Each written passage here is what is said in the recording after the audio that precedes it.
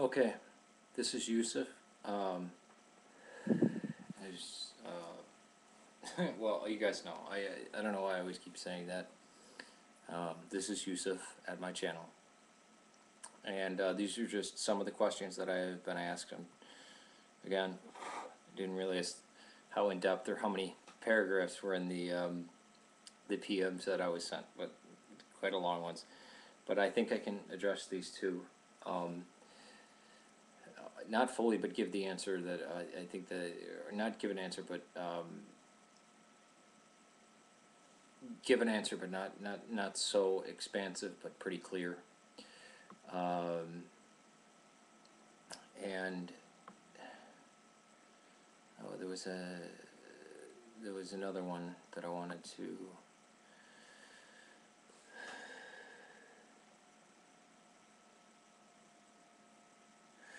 Um, I, I think I'll just have to stick with addressing these two. Um, uh, this comes from, uh, somebody who I've, um, talked, uh, messaged on here with a lot, and, um, this, this is a kind of personal question. It said, uh, would you please make a video about the soul in relation to the body? Alzheimer's disease is very prevalent in my family, and I probably will develop it myself one day, and it has been a great stumbling block in my faith. How a person slowly loses personality until not a shadow, not even a shadow of a shadow of the self remains. What happens to the soul when the brain is broken? Question mark. Is is it trapped? Question mark. Is it freed? Question mark. Is it held captive? I've heard various ideas in this regard and found our Vladika Lazar's neurobiology, neurobiology of sin very fascinating, but yet uh, I, I yet to find a satisfactory answer, and I was wondering if you could give an orthodox answer to my question or your opinion if you don't have the time uh, to make a vid. I okay, I'm making the vid for it. Um, uh, again, I was going to saying the soul in the Old Testament um, is the body with the pneuma, or the body with the spirit, or the body with the divine spark, or, or, or the animated body. And uh, in some cases, especially in Genesis, this is all living souls, meaning um, any any body with the life force in it. Um, but if we're speaking about soul in the Western sense, we mean the uh, immaterial part of the body that uh, motivates the body, that um, is, in orthodoxy, it's integral to the body, it affects the body, and the body affects the soul in, in our actions of what we do. And um, again, this is what leads me to say that we are created in the image and likeness of God, and you wouldn't destroy a body because it still, to some degree, retains that because of the effect that the soul has, or the effect of the spiritual world has on the body. That that that was still a um, a capsule of uh, of a of a person that is part of a person, and that it's it, it would take me longer to go into, but um, with Alzheimer's, I uh, I feel a great deal of pain for uh, those people who suffer. When it, I mean, just thinking about it, it, it's a horrible thing, and um, a lot of times they get very angry because they don't know where they are, and who they are. Um, sometimes with amnesia, that the personality changes quite quite quite quite quickly. Uh, I can't say that the the soul is trapped or it's gone. I think the expression of the person, um, meaning their true self or the soul or whatever you want to call it, is distorted because um, the brain as a receiver for the soul. Some that's the best kind of way I can think of uh, or um, you used to describe it is all scrambled up, and it's a terrible thing. Um, so I would it's a stumbling block in faith. Yeah, I, because uh, I would imagine because of the great suffering that comes along with that, and well, why would why would that need to be, or, you know, whatever. Um, these people do have souls, just maybe loss of personality and a shell of a shell of a person, or the shadow of a shadow over the shadow of a person, as you say. Um, yeah, it's it's horrible, but again, uh,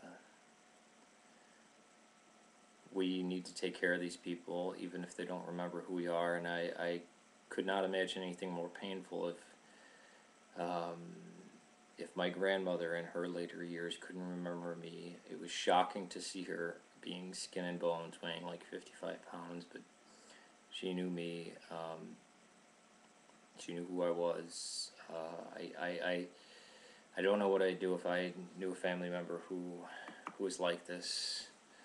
Um, it's got to be extremely rough. Um, but the soul and the body do have a connection with each other. It's not docetism, uh, and is not is for not finding a satisfactory answer. I think that kind of ties in with suffering, and I, I don't know if you're going to get a satisfactory answer. And even if you do, even if you get the, absolute technical details of all this kind of stuff, um, would that lessen any of the pain that you've gone through, or would you not care as much for a relative who's going through this? And um, it's very unrewarding to do something like this, and for a person who might get angry at you, might forget who you are, might say terrible things to you, because I've had little experience with Alzheimer's patients. Uh, none that were close to me, none that were of blood relation or you know anything like that. So my heart goes out to you. Um, and uh, the second question I wanted to get to, and I know that's very brief. Please forgive me being brief. I have to, I have to run, and I wish I could just sit down and do all of these. Um, and uh, our friend George from Georgia writes that it's very upsetting to him that there are priests in Georgia, uh, Orthodox priests. Now, I believe Georgia is under um, is under the Oriental Orthodox Communion. Although, obviously, there are going to be churches in the that are Eastern Orthodox. I don't know which one he is. Um, I don't care. He's my brother in Orthodoxy. I'm not going to split hairs on that one. Um, although I know many Eastern Orthodox people will take issue with me. And if I'm wrong, if Georgian Orthodox is not Oriental, if it's not in communion with the Armenians, if it's in full communion with the Russians, the Antiochians, and the Greeks, then fine. Um, and uh, this is actually a problem in Russia and, and some of the Greeks, and then even in America too, uh, this being uh, infected into different parishes of um, these priests or uh, Orthodox teachers pushing Seventh day creationism, uh, bashing evolution. He said, You can't imagine my pain when I saw this great uh, science downgraded to the level of Ray Comfort's street performances. I mean, giving lectures on theology, I mean, having no idea who Alexander Men or uh, Sergei uh, uh, Bulgakov are is like being a physicist who has never heard of Isaac Newton. Um, he says, uh, uh, "Good day, Yusef. How uh, I haven't seen you in a long time. Yeah, please forgive me about that. How are things? You know, um, when when confronted by a creationist Orthodox pre- please let me get into the details. University I studied, established. Um, where I studied was established by the Patriarch of Georgia, and so there is an additional course, well, theology.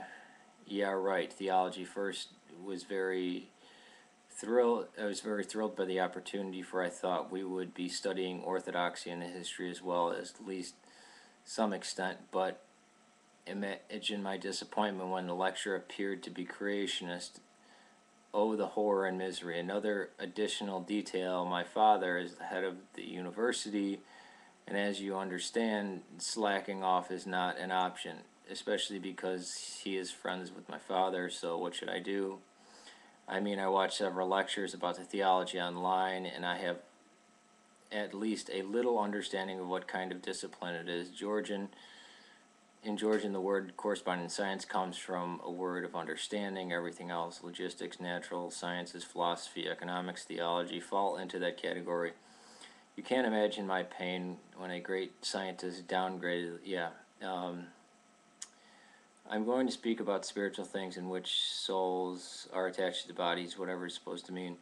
I think atheists now, I think I understand atheists now, but their enemy should be lack of understanding, which is also general display of regards to religion.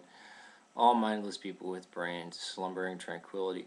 Yeah, you know, that's the thing is that um, where in Orthodoxy does it teach creationism? And you point out in here that there's early Christians that have challenged the idea of this 6,000 year old universe or 6,000 year old world or 10,000 year old world, and that it's actually not orthodox. These are just the views of, of uh, I mean, it, it's really quite comical. Um, you say you like the science behind Richard Dawkins' books, but you think his philosophy is disgusting. Um, you say you secretly enjoy the irony. Um, yeah, I think this is a point, and this is this is the charge of all Orthodox people, even if it's a bishop, a patriarch, a priest. Um, where in the first of all, the, the view of the Bible of taking it super literally is not Orthodox. Where in the ecumenical councils does it discuss anything like this? Where in church history has this been discussed in um, where is it in the hymns? Because as we know, what the Orthodox Church believes is contained in the hymns and in in the councils. So this creationism is a fraud. Uh, you get into Orthodox theology. Um, the first two things you should be studying are the hypostatic union and the Trinity, and that's it. I mean, you got to get those two things down before you get anything else down. Um, so I, I I, think there's a great. I mean, if your father's a um, an intelligent, open man and open-minded, you can. I mean, say, look, I, I need to confront this person on this, and uh, it's your duty as an Orthodox Christian because this man has stepped into heresy, which means he's either excommunicated himself or put himself into heresy or put himself into anathema. So you've got a great opportunity there because obviously you're not the only person in the class, and this could very well turn many people away from orthodoxy, saying, "Oh, it's creationist." I mean, these, this can create another one of those ZOMGitsCriss people, Christina Rad or whatever her name is. no, we are not creationist. Emphatically, no. And this creation idea, was not in historical orthodoxy. It had only come in post-Soviet. Post-Soviet rule is when this came in. Um, and it's funny, there's some of these Orthodox over in the Eastern Bloc countries that have, uh, or post-Soviet countries that use Jack Chick tracks. Um, so I think you have a great opportunity in front of you, although I'm not going to say, well, this is your this is what you should do, and this and that, and you know, put your your education online. I know you love physics. You've talked to me about that all the time. You're pretty much like a nerd for it. Um, but it also can be a great opportunity because uh, I think you should challenge him on this and that theology has nothing to do with seven day creation. That's not theology at all. That's hyper literalism, and it, it, it's nowhere in the realm of orthodoxy. And that you can point out that the ancients didn't even, the ancient Christians didn't hold this view, and that you start off with theology, you start off anything with theology talking about the hypostatic union and um, the Trinity, because without those, um, the Gospels are basically it's useless. So um, I thank you for that, um, both of you guys. I hope this video is satisfactory for you. Um, peace to you. May God save Serbia. And if you have any more questions, please message them to me. This has been Yusef.